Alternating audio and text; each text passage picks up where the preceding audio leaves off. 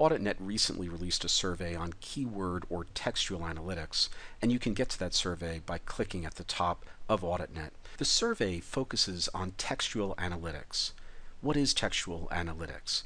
It is the review of electronic communications, and in our case, we're going to be looking at how it relates to the fraud triangle, as well as to other areas of your business where you might have errors or other issues that you could take the key words related to those issues and search through those electronic communications.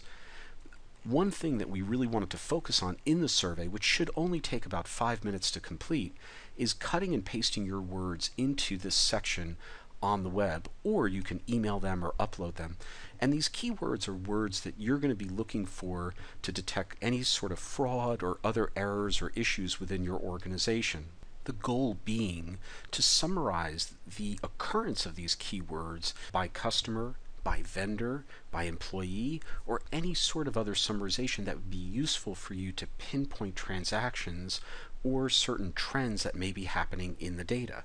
Now, if you're able to take the survey in time, you'll be able to attend the webinar associated with the survey for free.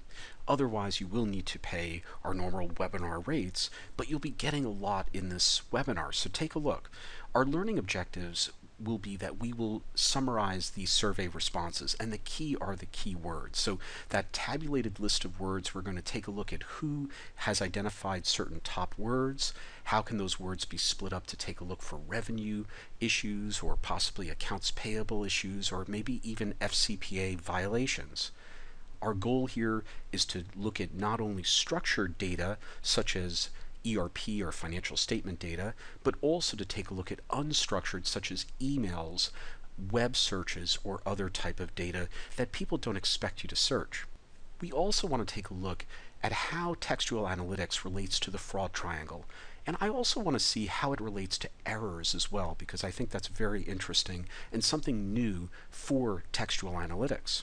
We will then take a look at how textual analytics has been built into a lot of products and where it hasn't been fully built in, where certain scripts and other types of procedures can be run very quickly so that you can understand what's happening within your data within just a few clicks. We will be giving a lot of this away for free as part of the webinar, so this will be tied in with the list of keywords that you will also be getting. Lastly, we'll talk about how to visualize the output in various graphs and word clouds to ease the review and hopefully get you to those transactions that you're most interested in looking at.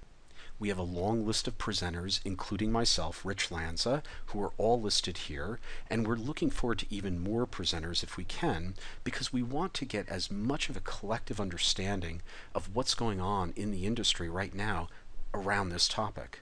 We look forward to seeing you at the webinar. Hopefully you can take the survey in time to come for free, and otherwise we look forward to seeing you at the webinar either way, as we're offering so much for just a couple of hours of training.